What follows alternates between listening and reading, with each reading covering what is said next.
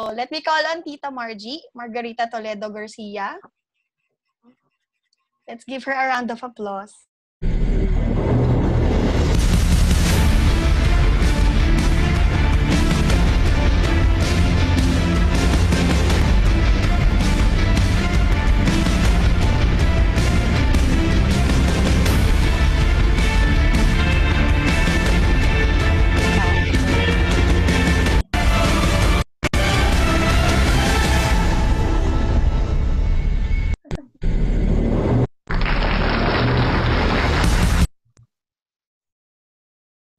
Grabe.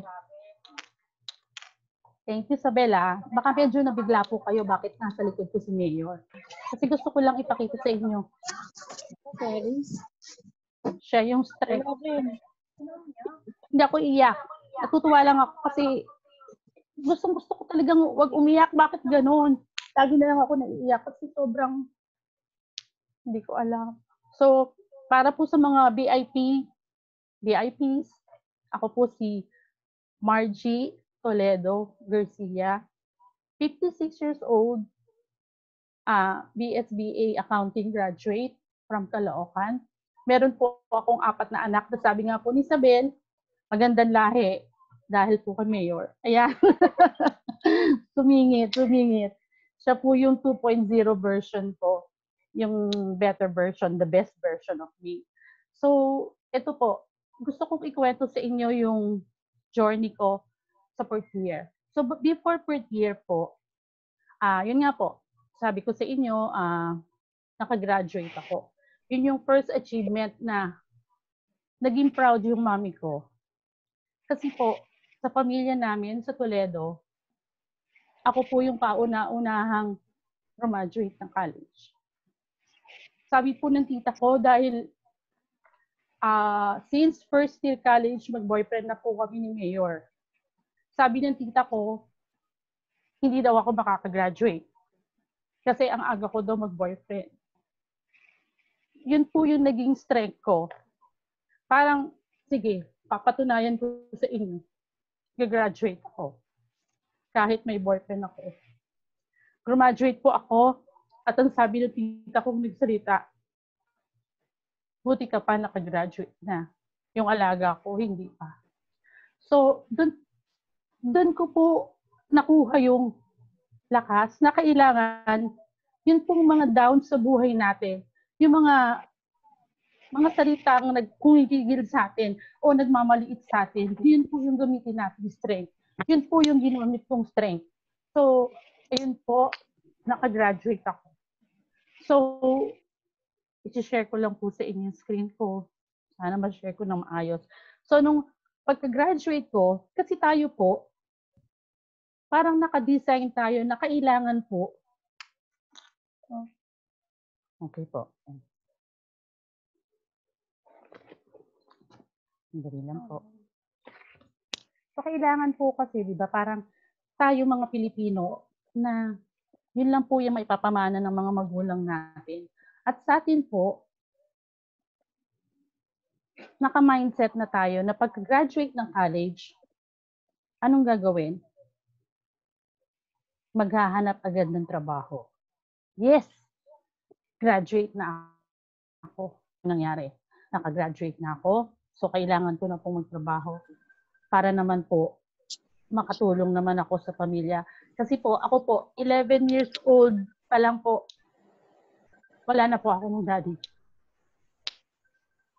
Meron po akong limang kapatid, puro lalaki.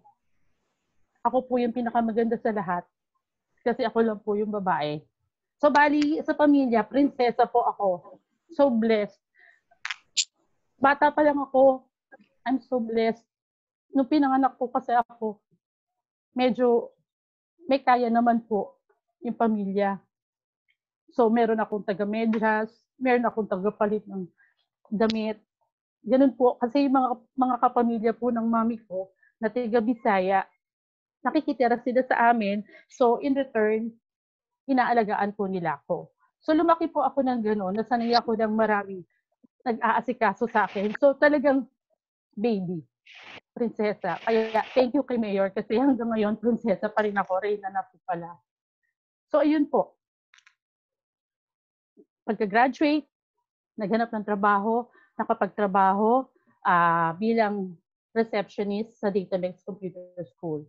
So, okay naman po. So, ah, five years, six years po ako nagtrabaho. Then, parang nafe-feel ko. Pero kasabay po no, nung nagtatrabaho ako, kaming dalawan mayor, nagtitinda po kami ng RTW. Kasi dati po, yun yung uso. So, sinasabayan namin ni Mayor. Kasi po, si Mayor, ah, wala siyang trabaho. Bali, ang, ang lagi niya pong sinasabi, ah, hindi po siya kasi nakatapos. Fifth year na siya ng engineering, civil engineer. Hindi po siya nakatapos kasi daw niyaya ko siyang magpasal. Pero hindi naman po yun totoo.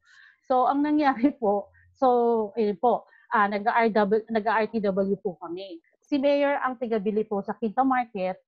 Sa tuturo ko lang sa kanya kung ano yung mga orders. Kasi po, ang kita ko sa Datamix, hindi naman po siya ganun kalaki. Hindi ko po matandaan kung 3,000 or 5,000 a month nung pagka-graduate ko. That was 1985. 84 po ako graduate eh. So, after nun, nakapagtrabaho naman ako. So, hindi na po ako masaya. Ah, hindi naman po sa dahil sa maliit yung sweldo. Yung parang hindi na po ako masaya dun sa ano. Kasi sa akin po, hindi naman po importante yung pera. Although alam ko, importante yun. Pero sa akin, okay lang yan. Basta masarap yung samahan, okay lang. Sige, diretso ko. Pero parang nung time na yon hindi na ako masaya.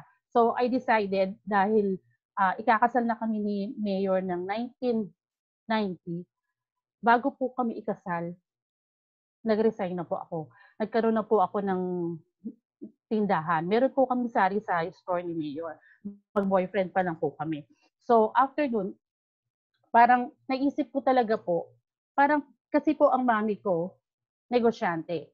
So parang, di ba ganun po, kung saan ka pinalaki, parang ganun yung mangyayari sa'yo. So ang sabi ko, parang sinusundan ko yung yapak ng mami ko. So kasi ang mami ko po, masarap magluto, pero hindi ko po nasundan yun. Masarap siyang magluto, so meron po siyang karinderya, tapos dati po meron kami tindahan. So kami ni Mayor, nagkaroon po kami ng tindahan, naging successful naman po kami doon. Nag, ah, biglang nagkaroon na po ako ng anak, hanggang sa apat na sila na okay naman po kami. Okay yung buhay namin. Maganda po. Pinupunasan pala. Hindi pa, hindi pa, hindi pa din. Okay po. Okay naman, okay naman po yung naging buhay namin. Until, syempre po, darating yung time na hindi naman po parating ganun. Kasi parang roller coaster ride po yan, di ba po, ang buhay. Hindi mo alam, parang gulong ng pala. Umiikot siya. Dumating yung time na napunta kami sa ilalim na flat tire. Yun na po yung nagsimula na nagkabaon-baon po kami sa utang. Ang nangyari po, may tindahan kami. Siyempre, pag may tindahan, lagi pong may mga lumalapit na Bombay. Papautangin ka. Bibigyan ka ng kumot, bibigyan ka ng plancha, rice cooker, ganyan. Basta kukuha ka ng pera. So, yun po. Ang nangyari, ayun po, nag, ah, nag-Bombay kami para masustain yung pagtitinda. Hanggang sa ang nangyari po, nalubog na kami sa kakautang. Dahil ang nangyayari, sila na lang yung pinapayaman namin. So, nag-decide na po kaming lumipat. Napunta po kami ng Vista Verde. Pero bago po kami punta, mapapunta sa Vista Verde, meron na po kaming ano, meron po kaming financer na middleman kami. So, nagpapahiram po siya ng pera, kami po yung kakilala, kami, kami po yung kumbaga guarantor, na may, binibigyan niya po kami ng sahod. So, ganun po yung nangyari. Until dumating yung time na pumunta na po kami sa Vista Verde. Sa Vista Verde po, sobrang hirap po magnegosyo. Kasi po, subdivision siya. Tapos po, nalungkot kami nung time na yun kasi sanay kami sa magulong mundo na pagdating ng gabi, dumadami yung tao. Sa Vista Verde, pagdating ng gabi, tahimik na. At ang hirap po magnegosyo. So, ang nangyari, nawalan po kami ng pera. Second, hirap-hirap, ang hirap talaga wala. Kahit anong negosyo gawin namin, tinuloy pa rin namin yung pagpapautang. Tapos hindi naman po kami pinagbabayaran. So ang nangyari po, dumating yung time, dumating po yung time na kailangan na kami naman yung mangutang. So, Yan po. Yung picture na yan, kung makikita nyo po, si Mayor, dati po yan kagawad. Kinakampanya ko siya. Hindi ko na kailangan ikampanya kasi mayor na nga eh, in the making eh. Tapos, pogi pa. Oh, Pero dyan po sa picture na yan, tingnan nyo po, yes, yan po si mayor ko. So, yung picture na yan, para kaming ano no, nominal. Yan po yung picture namin na you know, kinuha lang namin sa ano sa cellphone kasi kailangan namin ng pera. Ngayon, ang requirements, kailangan may picture. Sabi kailangan may picture para mapautang kami dun sa mga ano po, ah, lending, lending mga ganyan. So, ang haba ng pila. Tapos pagdating doon, ah, ang dami, ang daming proseso samantalang dati kami yung nagpapautang. Dumating yung time na kami na yung nangungutang. Sabi ko, sige, okay lang, sige. Tapos, nakautang kami. Ngayon, ang, ang nangyari, dumating yung time na ang hirap, araw-araw magbabayad ka. Tapos wala kang pambayad. Hilong-hilo kami ni Mayor kung saan saan kami naghahanap kasi syempre nakakahiya eh. Dapat nangutang ka, dapat responsible ka na dapat alam mo na meron kang. Hindi pwedeng papalyahan mo yon.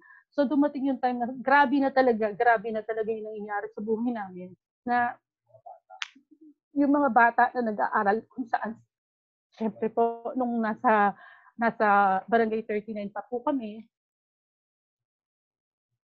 okay po kami. So sa magagandang school po nag-aaral yung mga anak ko. Syempre pag nanay po iba sabi nga or hindi man nanay magulang pag magulang ka only the best. O kaya yung iba naman po yung hindi nila naranasan sa mga magulang nila paparanas nila sa anak nila So, ganun po yung ginawa namin. Pinag-aral namin sila sa magandang school. Pero dumating po yung time na bigla pong bumagsak. Ang nangyari, kailangan po namin silang ilipat ng school. Kasi hindi na namin mabayaran yung mga tuition. So, kailangan po ilipat na namin sila sa public school.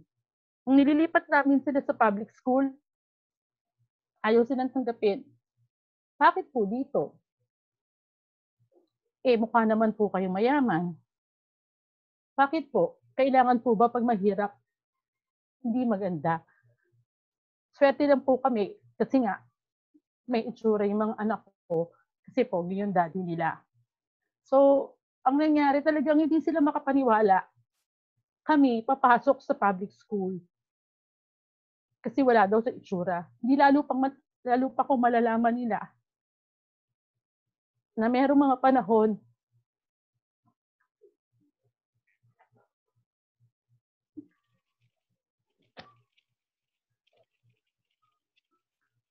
sumasakit na yung ulo ng mga anak ko. Kasi hindi sila nakakakain. Pero wala pong nakakaalam doon sa side ko, sa side ng husband ko. Kasi ganun po si Mayor, sabi niya, nagtayo kami ng pamilya, never ako hihingi ng tulong, paninindigan ko, pamilya ko to. So hindi nila nalalaman na nililipasan na kami ng gutom. Swerte nga lang po, hindi halata. So ano po, ano po kaya yung magiging pakiramdam nyo kung kayo yung nasa kalagayan ko? So ang sabi ko, ayoko na. Hindi ko to kaya. Ayoko na. Kaya sabi ko po, ito pong ginamit ko. You have to be at your strongest when you're feeling at your weakest. Sabi ko, hindi ko na kaya kailangan ko na gumawa ng paraan. Hindi ko na po sinino kung ako yung babae, si Mayor yung lalaki, na dapat siya yung padre de pamilya, dapat siya yung magtatrabaho para sa amin. Pero ako po yung merong chance. Ako po yung nabigyan ng chance. Ako po yung may kakayanan. So I decided, gagawin ko to para sa pamilya ko. Kahit na alam kong mahihirapan ako dahil ever since pinanganak yung mga anak ko, hindi po kami nagkahiwalay. Bibili lang po kami sa kanto ng kung ano man, magkakasama kami. Ganun po kami kadikit-dikit. So sabi ko, okay lang. Pero hindi ko po yun inisip. So I decided, kailangan ko nang gumawa ng paraan. Kahit ako yung babae. Kailangan ko maghanap going Dubai. Nung pupunta po ako sa Dubai, sabi ko po, sa kapatid ko na namatay. Sabi ko sa kanya, punong-puno ng pangarap, punong-puno ng pag-asa.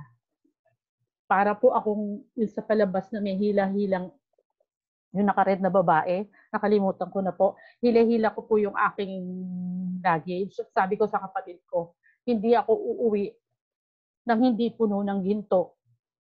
Itong bag na to. Pupunuin ko to ng ginto, sabi ko sa Dubai. So ayun na po, pumunta ako ng Dubai, first time na lumayo sa pamilya.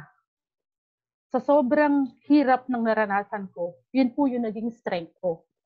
Wala akong takot. Lumipad, ilang oras? 12, 13 hours papuntang Dubai. Wala akong katakot-takot, wala akong kakaba-kaba dahil alam ko meron Diyos. Nagagabay sa akin. Hindi ako papabayaan kahit nag-iisa ko. Pagdating po sa Dubai, ano pong aasahan nyo? Iyakin. Laging magkakadikit. So, three months lang po akong nagstay sa Dubai. Pero maganda po yung naging trabaho ko. Naging secretary po ako. So, maganda naman din po yung sweldo compared dito sa Pilipinas. Pero hindi po po kinaya yung lungkot. Every day, kahit po sa oras ng trabaho, tinatawagan ko yung pamilya ko. Kasi ganun po kami. So, tuwing makikita ko sila, iiyak ako pupunta ako sa computer shop. Pag uwi ko, sasabihin ng mga kasama ko sa bahay ko, ano, kinausap mo na naman yung pamilya mo, umiiyak ka na naman, ano nangyayari sa'yo? Sabi niya, hindi ka para dito, sabi nung nanay-nanay. Umuwi ka na kaya? Sabi niya ganun sa akin. Siyempre ako gusto ko din po yun. So one time, lalong naging magulo na yung buhay ko, three months, ako nagtatrabaho, araw-araw, walang tintis. Araw-araw umiiyak ako kasi hindi ko kaya na wala yung pamilya ko. Sa isip ko dati, sabi ko, nung bago ko umalis, uuwi ako, may dala ako maraming ginto. Kailangan ako ng pamilya ko, kailangan mabigay ko sa kanila yung mga pangangailangan. Tuwan-tuwa po ako, yun, yun, kaya grabe po ang hanga ko sa mga OFW. Kaya palakpakan po natin yung mga OFW, grabe po talaga sila. Yung hirap na binibigay na sa pamilya. Sabi ko, nung first na padala ko, mag enroll yung mga anak ko, may kasabay po ako nagpadala. Parang ang pinadala niya lang is parang 2,000 pesos, tapos tuwan-tuwa siya. Samantalang ako, buong sweldo ko, pinadala ko, hindi ko po matandaan kung 35 ba o 30,000 yung pinadala ko. Kasi kailangan po ng mga anak ko mag-enroll. So, pinadala ko, ang sarap ng feeling na makakapag-aral yung mga anak ko, ma-enroll yung mga anak ko. Tapos po, hindi ko na po nakayanan. Sabi po ng kapatid ko, iyak ka na iyak, lagi ka na lang umiiyak, magkakasakit sa kanya. Yung kapatid ko po na yun, yun yung tinatawag kong wind beneath my wings. Siya po yung nakasubaybay sa akin ever since. Lagi po siya nakaalala. Kaya blessed kami ni Mayor kasi meron akong wind beneath my wings. Meron naman siyang savior sa side niya. So ayun po, sabi ng kapatid ko, umuwi ka na, papadalan kita ng pamasahe. Ako naman po, yes, uuwi na ako. Pagka-uwi na pagka-uwi ko po, galing sa trabaho, diretso kagad ako sa bilihan ng ticket. Bumili po ako ng ticket para kinabukasan uuwi na. Ang sabi ng mga kasama ko, uuwi ka na, hindi ka pa nga nakapamasyal, wala pa nga tayo. Ayoko na, uuwi na ako, babalik na ako sa pamilya ko. Umuwi po ako. Ang katwiran, para po maging okay sa isip ko, okay lang. Kahit mahirap kami, okay lang. Kahit hindi kami kumain. Basta sama-sama kami. Papalubag loob, pero masakit po yun. Pero yun na lang sinasabi ko, kasi hindi ko kinaya. Kaya nagsisisi po ako noon kasi binigo ko po yung mga anak ko na akala nila magbabago yung buhay namin. Until wala na po talaga, kahit ano pinapasukan ko, pumasok po ako na sa sa Vertusi, nagtrabaho po ako bilang secretary po doon. Uh, ano po siya eh, uh, music school. Maliit lang din po ang kita, Fairview. Minsan uuwi po ako, wala po kaming pera, walang sahod. So ang gagawin po, papakainin lang po kami ng may-ari ng school. Bibigyan pa kami ng pansit, bibigyan po kami ng ano, para uuwi man kami, hindi kami gutom. Uh, pero uh, ganun po yung nangyari. So hirap pa rin, hirap pa rin yung buhay hanggang sa tumigil na ako ron kasi malayo. Pinatulan ko na po maging secretary sa malapit lang dito sa amin, hardware. Magkano lang po kita ko. Pero ayoko na, sabi ko, hindi ko na kaya.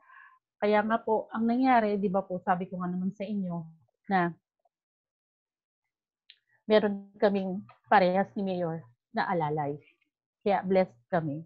So ang nangyari, naghati, hindi naman po naghati, nagtulungan po sila para makakuha po kami ng sasakyan. Ay, ito pa pala po. Nag-English tutor online po ako. Kung mababasa nyo, maybe next time. Hindi po ako natanggap kasi po wifi lang po. ah ano lang gamit namin, pocket wifi lang. Eh, hindi pala pwede. Kailangan pala broadband. Hindi po namin afford magkaroon ng broadband. Wi-Fi lang kaya namin yung kakargahan lang namin siya. Hindi po ako natanggap kasi mahina po yung signal. So, ayan po yung nangyari. Hanggang sa humingi na kami ng tulong na sabi ni Mayor, gusto kong mag ano, gusto kong mag-service, sabi niya ganoon, wala lang akong sasakyan. So, ang nangyari po, nagbigay po yung kapatid namin parehas para makabili kami ng sasakyan. Ayan po. Nag-school service po kami pamilya kasama. Masaya, ang saya. Kasi sarili namin, pero hindi pa rin po pala ganun kasaya. Kasi yung kinikita namin sa pagsiservice, para lang pambayad. Great. Sa sasakyan, wala pong nangyayari.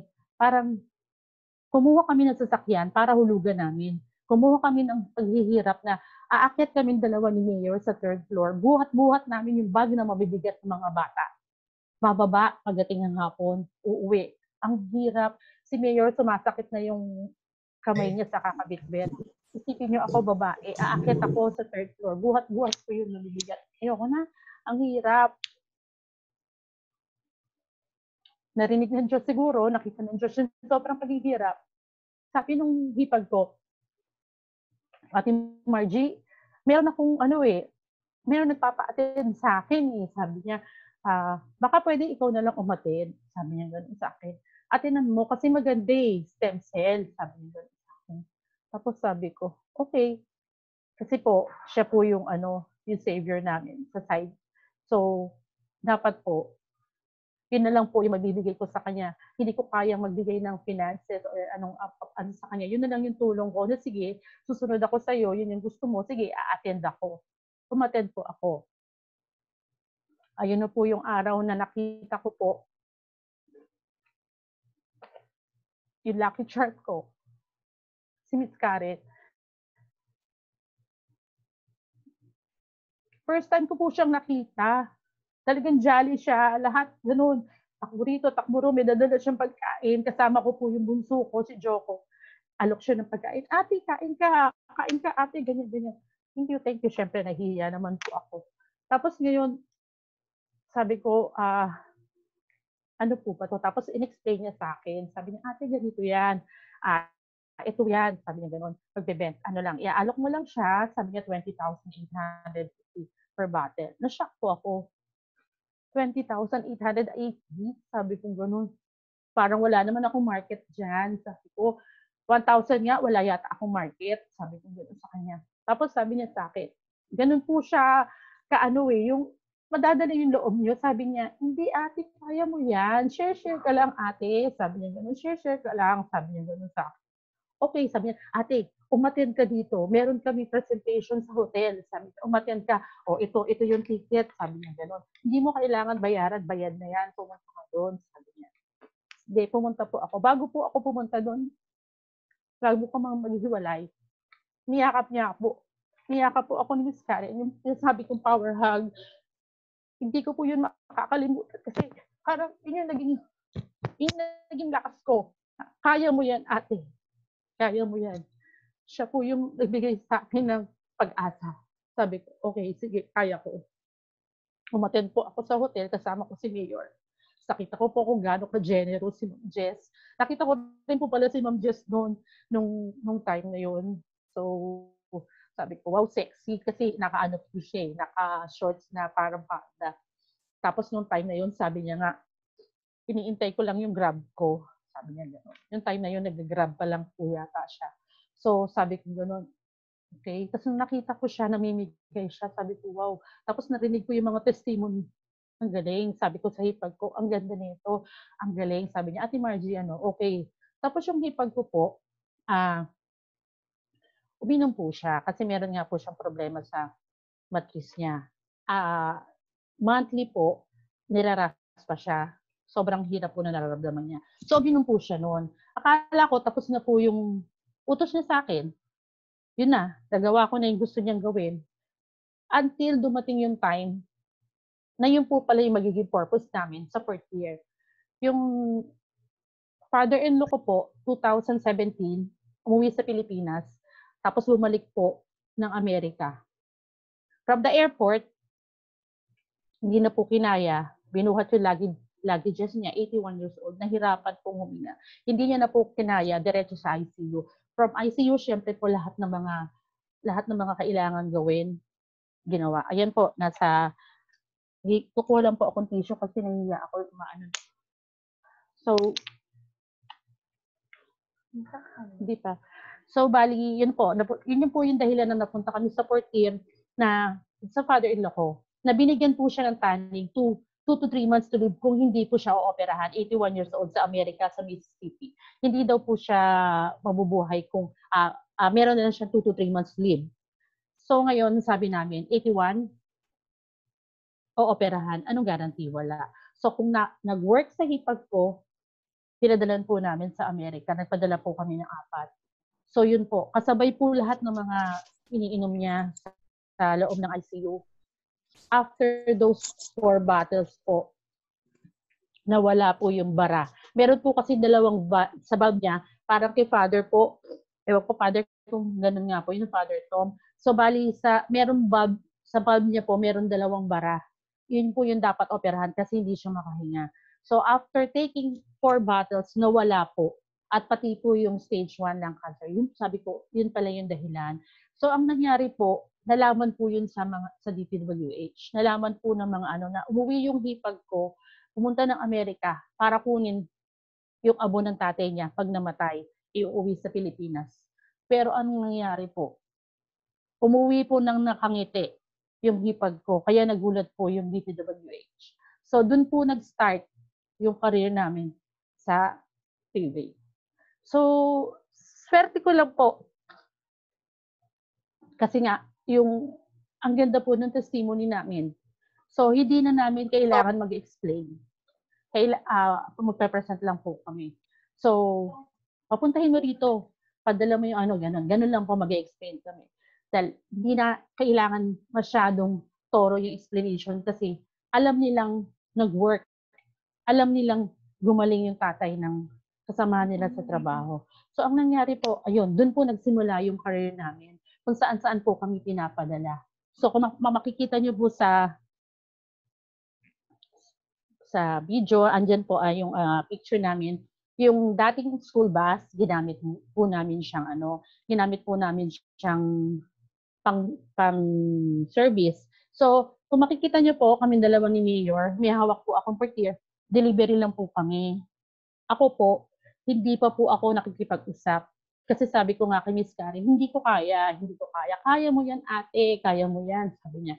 Hindi ko kaya. Kaya pag pupunta kami sa DPWH, kaya kong makipag-usap dahil kay Miss Karen. Kasi binaback up niya ako, kaya mo yan ate. Kaya mo yan. Kaya ko po. Pero hindi ko kayang mag OPP. Hindi ko pa kaya. So, yan lang muna po yung ano namin ni Mayor taga-deliver. Until nag attend po ako ng mga trainings. Ito po, sa inyo pong mga bago, sa inyo pong mga VIPs, kung mag-join kayo sa amin, wag na wag po kayong magminis. Pag narinig nyo po may training or seminar, atinan nyo po. Sobra pong laki ang nagawa nito sa buhay ko. Yung dating mahiyain na hindi kayang magsalita, yung dating mahiyain. Kasi sa pamilya lang po namin, sa side po ng daddy ko, mayaman kasi sila. So ang tingin ko sa kanila superior. Hindi ko sila kayang kausapin. Basta pag matataas na tao, hindi ko kayang kausapin. Nahihiya ako. Kaya nga, laging nandiyan si Miss Karen para hindi ko kaya, hindi ko kaya, sabi ko tayo makapag-usap sabay, kami, sumama, ano lang po sa kanya. Umaten po ako ng umaten ng trainings. Tingnan niyo po, nagte-training kami, pero buong pamilya kasama ko. Saan po kayo nakakita ng ganyan? Di ba ang saya, kumikita ka or nagtitraining ka, kasama mo yung pamilya mo. Yan po. So, training, training. Lagi po akong uma-attend sa mga trainings until, yan, nag-graduate. Kami, lagi po may training. So, okay. Yan po, yung buong sterling movement. Before Riway, ito po ako. Stress. Diba po? In Riway, ito na kami. Sabi ko nga, paano kaya kung wala ako sa Riway? Siguro ganito pa rin ako hanggang ngayon. Natutuwa nga po ako nung, kasi ako po yung sinasabi nga ng mga anak ko, masyado ako selfless. Ganun po siguro pag nanay. Yung hindi mo iniintindi sa sarili mo, yung mga anak mo lang yung unahin mo. Sila na lang, sila na lang. Kahit wala na lang ako. So, hindi ko po minamahalin sarili ko. Hindi po ako bumibili ng kahit ano. Hindi po ako nag-aayos. Wala. Hindi, hindi ko po, lahat, lahat, taken for granted. Sabi ng kapatid ko, wag ganyan. Hindi pwedeng ganyan. Mahalin mo yung sarili mo. Kawawa yung mga anak mo. Pag nawala ka, mahalin mo yung sarili mo, sabi niya. Nasa Amerika po kasi kapatid ko, pinapadala niya po ako ng mga, kung ano, ng mga bag, ng mga ganyan. Pero alam, hindi ko po yung, hindi ko po yung ginagamit. Binibigay ko po yun sa mga anak ko. Pero sa tingnan niyo po. Nag-iba po yung itsura ko. Dahil sa re-way, hindi lang naman po yung ano dito eh. Tuturuan ka, pati yan po yung pinakagusto ko dito. Although, malakas po talaga yung faith ko, kaya kaya, kinakaya ko yung buhay. Pero dito mas lalo pong lumakas yung paniniwala ko sa Diyos, na merong Diyos. Kasi dito po, mararamdaman niyo po yung tulungan, yung pamilya. Nagkaroon po ako ng second family. Kasi po, bahay lang po ako eh. Wala po akong kaibigan. Tsaka wala akong social life. Pero nung napunta ako sa fourth year, wow, ang dami, beso-beso magsasawa. Tapos alis dito, alis dito. Ayan po. Natutuwa po ako nung itong may nagsabi sa akin, nakasama namin. Okay, si punta na John. po tayo sa... Sabi niya sa akin, ano raw nakikita mo sa tao na to? Tapos sabi niya sa akin, ano raw ako, uh, mapagmahal daw ako sa sarili ko. Noon ko lang narinig yun. Sabi ko, wow, nagbago na ako. Kasi minamahal ko na pala yung sarili ko. Nakita ko nga talaga yung transition ko. Tingnan niyo naman, nag-iba talaga. Kaya sabi ko, thank you talaga po. Thank you talaga sa Reway. At ito po yung sobrang laki ng nagawa sa mga trainings. Ito pong I believe I can fly. Dati po pag naririnig ko lang to, baliwala lang.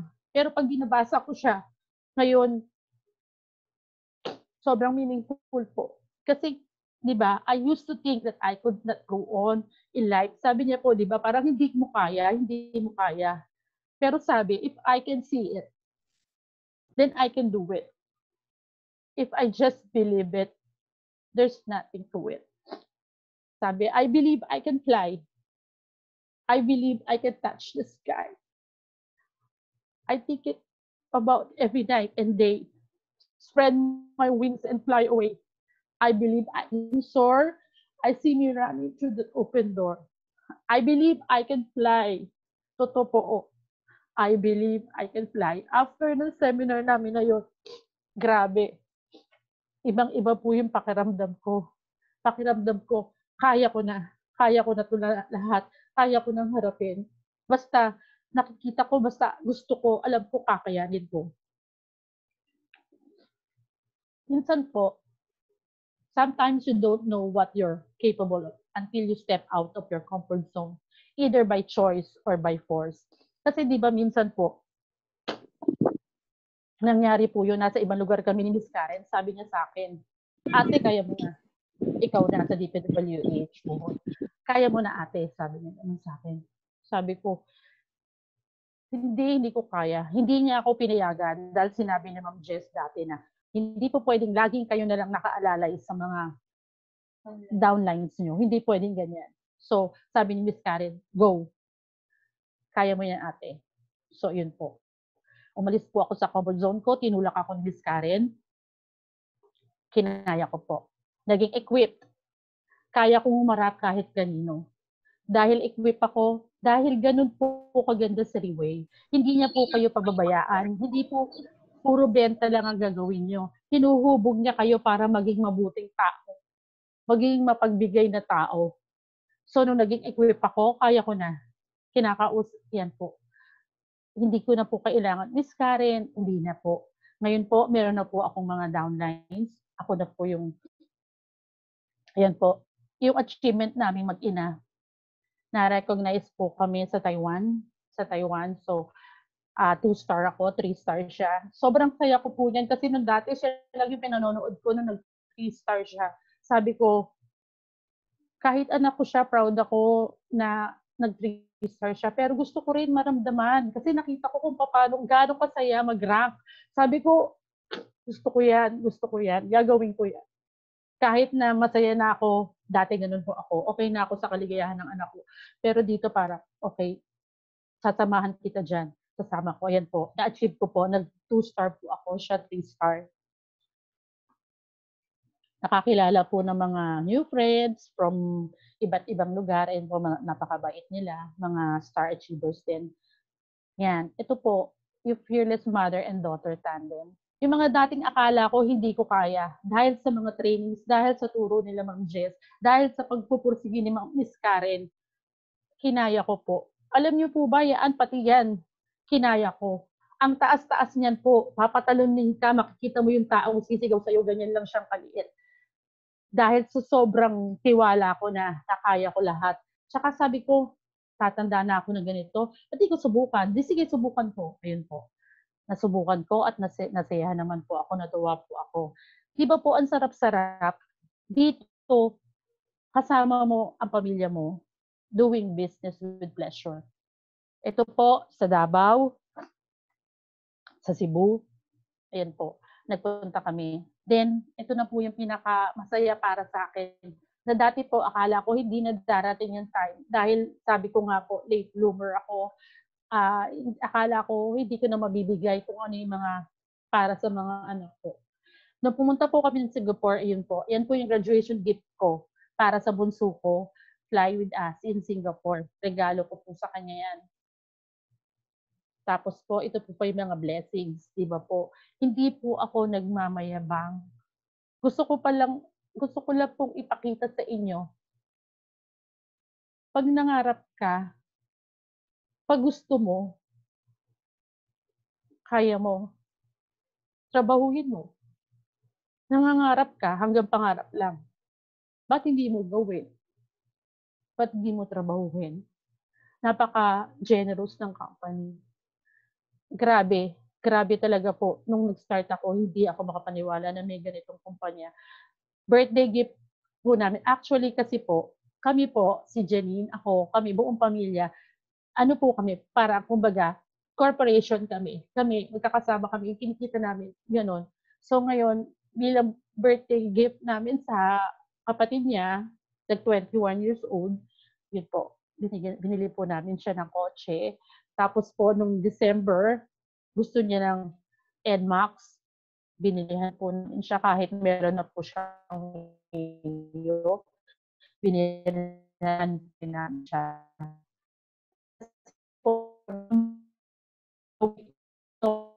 Ako sa three-way, kayang-kaya ko na pong ibigay sa kanila kung ano yung mga gusto nila. At ito po po, hindi mababayaran. Seventh birthday gift ko po sa apo ko, sa panganin na apo ko. Priceless po, di ba?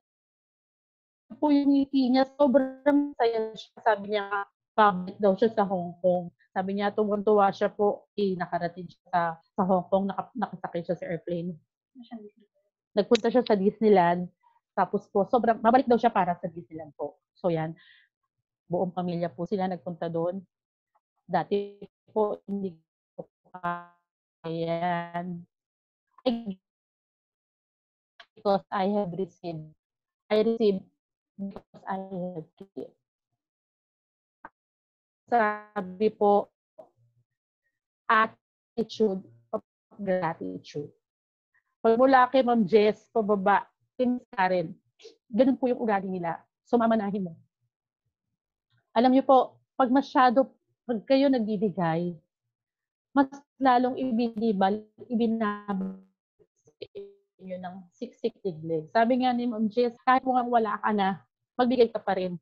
Kasi mas masarap po yung nagbibigay kesa sa tumatanggap. Dati po, tagatanggap lang ako. Ngayon po, kaya ko na po dahil sa Reway. Ayan po. Nung nag-start po kami sa Reway, ayan po, ginagamit namin yung L300. Ginagamit namin sa Portier. Now, with Reway, naka trailblazer na po kami. Pangarap lang po yan ni Mayor. Araw-araw hindi siya makapaniwala na kaya namin. Kaya naman po eh. Basta gagawin nyo lang. Wala pong imposible. Nandyan si Riway. Bibigay sa'yo lahat. Susundin mo lang yung mga upline mo. Gayahin mo lang, makinig ka lang. At makakamtan mo kung ano yung gusto mo.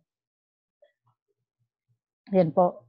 Dati po, narinig nyo, hindi kami kumakain ilang araw. Ngayon po, lagi po kami lumalabas, kumakain. Hindi na namin tinitignan, sabi nga, hindi sa pagmamayabang.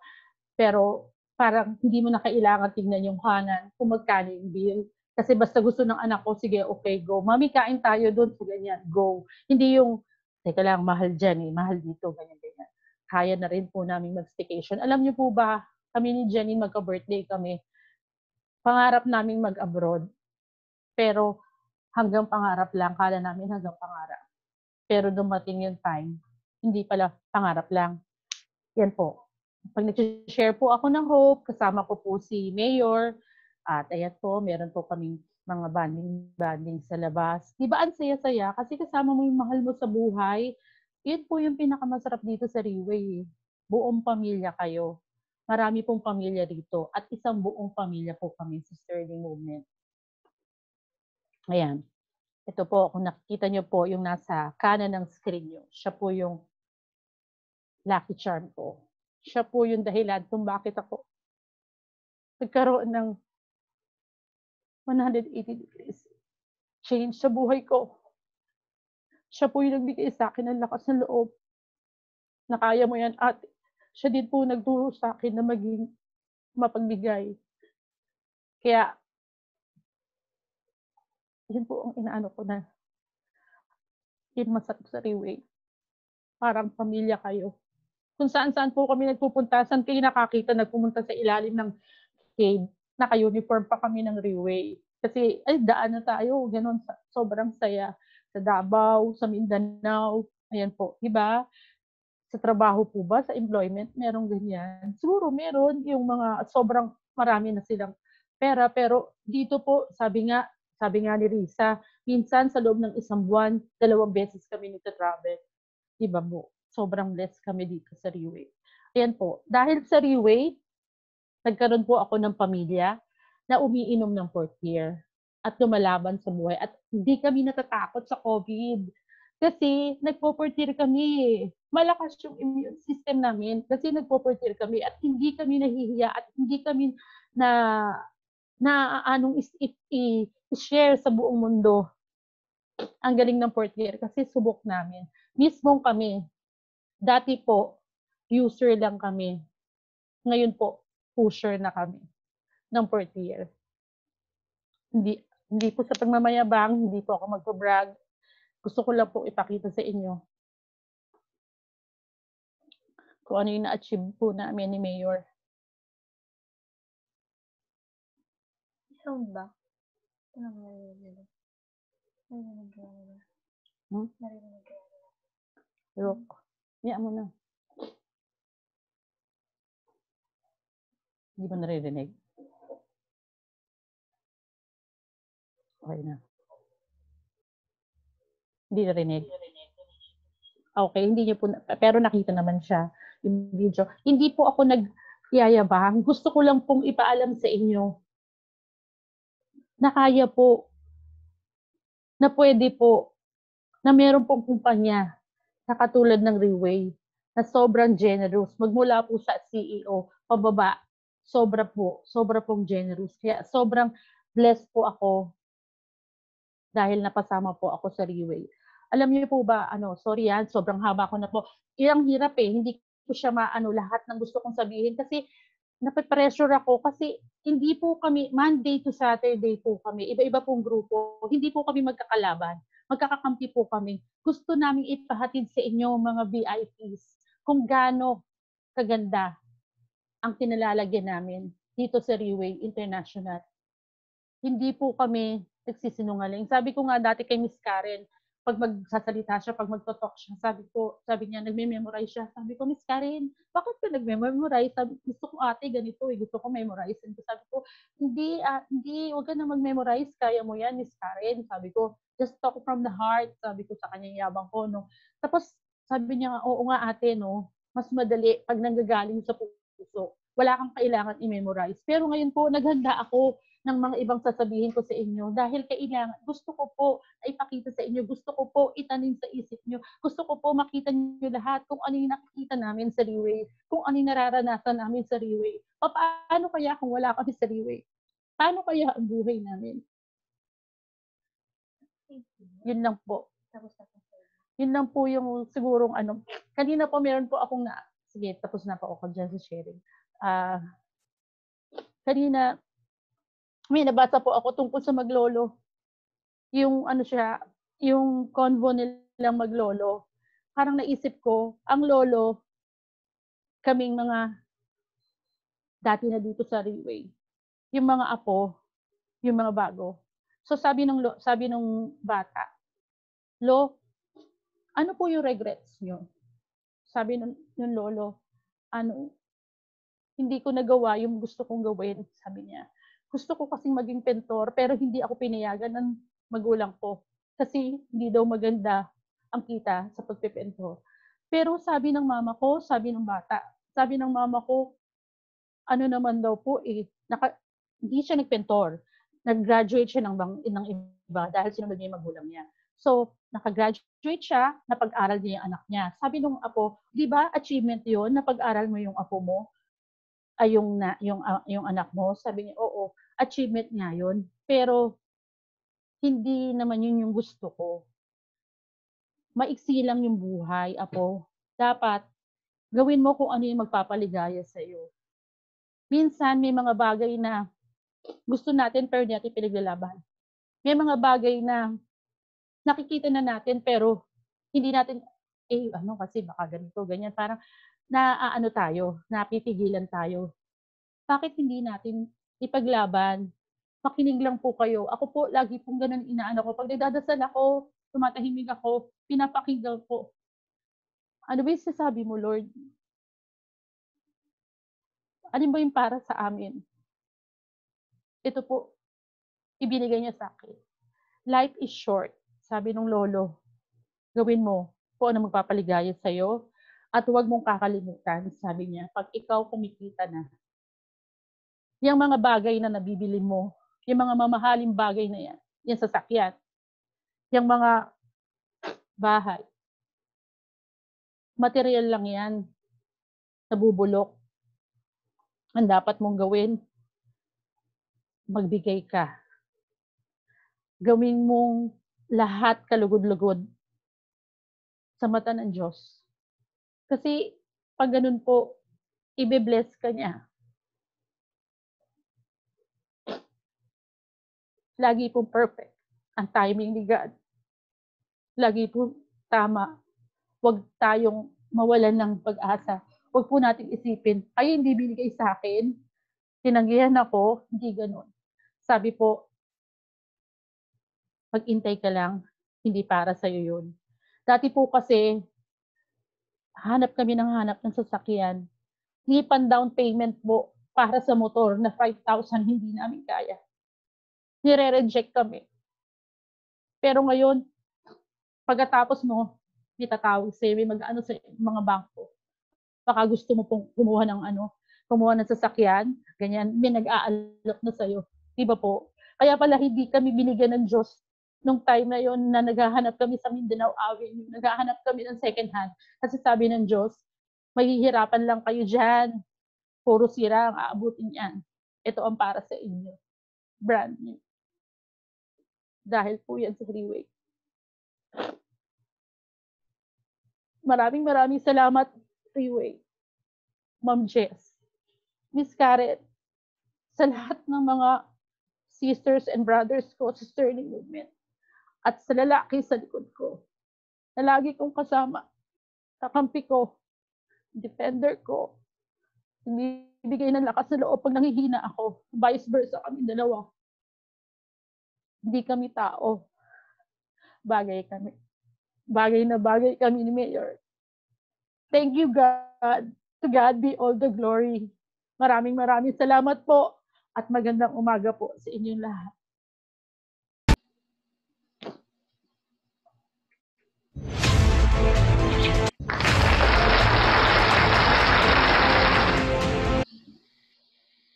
Grabe, grabe naman, Tita Mar.